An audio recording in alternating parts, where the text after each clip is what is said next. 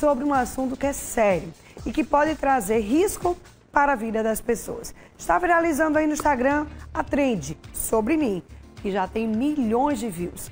Esta nova trend busca saber informações sobre um internauta. Sabrina Barbosa tem mais informações. Simbora!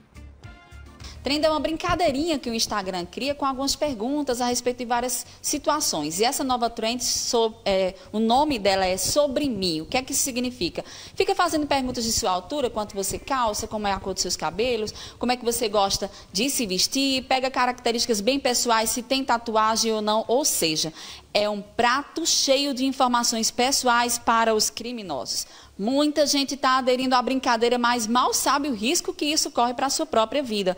Por isso, a gente veio atrás de um especialista na área criminal, Dr. Diego Cazé, está aqui comigo para esclarecer os riscos que se tem. Você fornecendo na internet, por essa brincadeirinha, detalhes sobre sua vida pessoal. É um prato cheio para o bandido, não é isso, doutor? É um prato cheio para a criminalidade que tem sempre um olhar atento a esse tipo de dado e informação sensível que a gente disponibiliza nas redes sociais, sempre através de uma gamificação, uma brincadeira, uma nova trend, você vai expondo algumas das suas características, informações de onde você se encontra, aonde encontra seus filhos, aonde eles estudam, e isso depois é utilizado para aplicação de golpes. O estelionato virtual é apontado no anuário, por exemplo, de 2023, que reflete os anos de 2021 e 2022, como um dos crimes que mais cresceu. São cerca de 200 mil ocorrências no Brasil por hora. Então a gente precisa ficar atento a essas informações que não são tão simples assim muito importante essa informação que a gente está trazendo. Olha o tanto que se tem de crimes voltados a essa questão em nosso país. Agora, falando um pouquinho sobre fotos de postagens, locais onde as pessoas estão, está dando essas informações. É, qual a orientação na parte criminal que se tem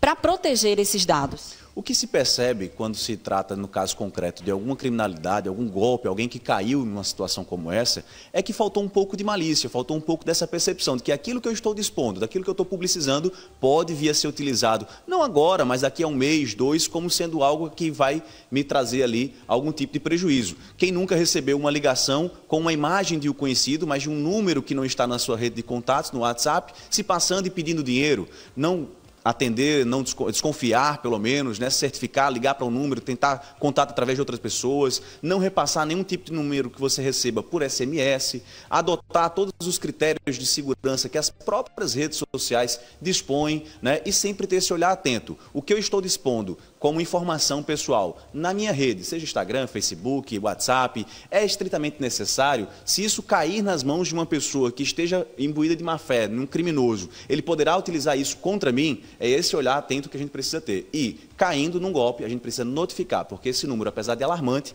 ainda há uma subnotificação muito grande desses casos. E a gente sente uma necessidade de estar divulgando isso a toda hora, como se isso realmente, de fato, fosse trazer algo benéfico para a nossa vida. E olha aí o que o especialista diz. Nesse caso, caiu no golpe, o que é que eu devo fazer, doutor? Primeiro passo é você certificar se aquela conta que foi, por exemplo, clonada ou se foi é, pega por algum criminoso, é possível recuperar dentro da mesma plataforma, se for o caso. Então, alertar ali ao próprio Facebook, ao próprio Instagram, à própria administradora daquela rede social. Em seguida, um boletim de ocorrência comunicando esse fato às autoridades competentes. Se houve ainda algum tipo de prejuízo econômico, alguma gravidade maior naquele caso concreto, procure um especialista para você saber as medidas que você pode adotar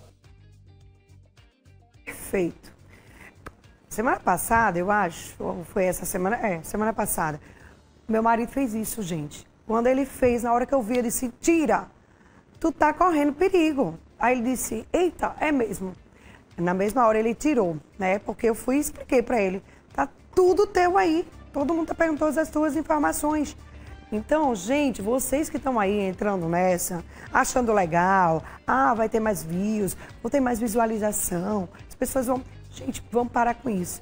Vocês estão dando né, de graça os dados de vocês para os criminosos. Né? Vocês viram aí nosso advogado falando aí sobre esse assunto que é muito perigoso. A gente não pode estar tá dando as nossas, nossas informações para todo mundo, né? Nem todo mundo tem que saber tudo da gente.